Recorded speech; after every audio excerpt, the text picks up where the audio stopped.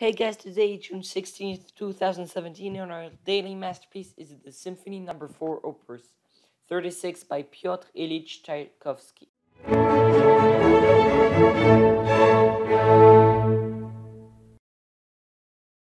Best classical music here, and today's masterpiece is the Symphony No. 4 Opus 36 by Piotr Ilyich Tchaikovsky. He was a Russian composer of the Romantic era born in 1840.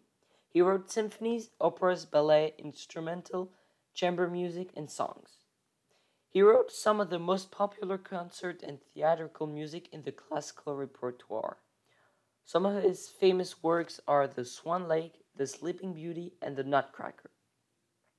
He wrote the Symphony No. 4 in 1878, but it has never attained a big popularity.